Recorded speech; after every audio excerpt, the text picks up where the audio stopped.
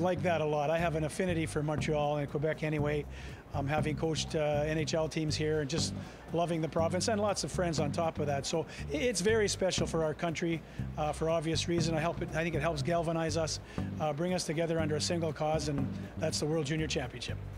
I just love the culture. Um, I've traveled enough around the world to have an appreciation, uh, you know, for what different cultures have to offer. The fact that, you know, Montreal and Quebec is right here um, in our own domain is, is very, very special. I have tremendous memories from having coached in the NHL uh, in Montreal, but also just traveling, um, scouting, uh, you know, just uh, the understanding of, uh, of the geographic as well as the demographic.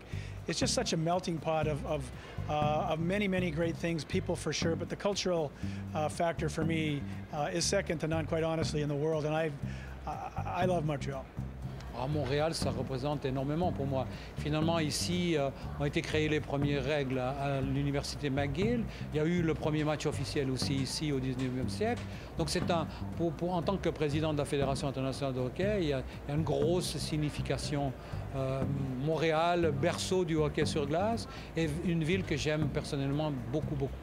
Encore une fois, euh, le hockey sur glace ici est roi avec le Canadien.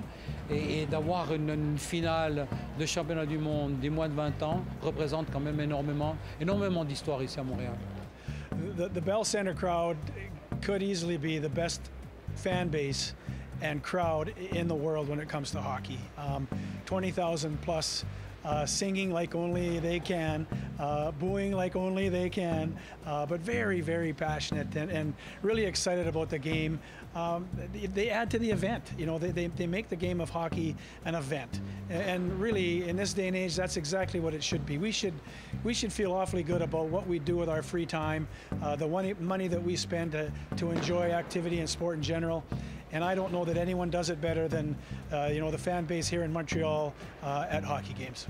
We expect a gold medal effort. Um, you know, at the end of the day, it's up to anybody's uh, guess as to what might happen here. But our intention is to play hard, to be well organized. Dom Ducharme is a terrific coach. Uh, we know that he'll lead us, and he'll lead us well. Uh, at the end of the day, all we can ask of Dom and his troops is that give us that gold medal effort. Um, we'll take what happens.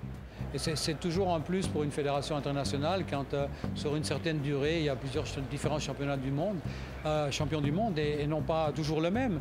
Le Canada a souvent gagné euh, les championnats du monde, que ce soit en junior, en moins de 20 ans, 18 ans, ou, senior, ou même femme.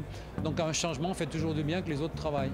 Mais c'est un, tournoi, et spécialement ici en Amérique du Nord, qui est, très bien suivi, qui est, présent. C'est une tradition entre Noël et Nouvel An.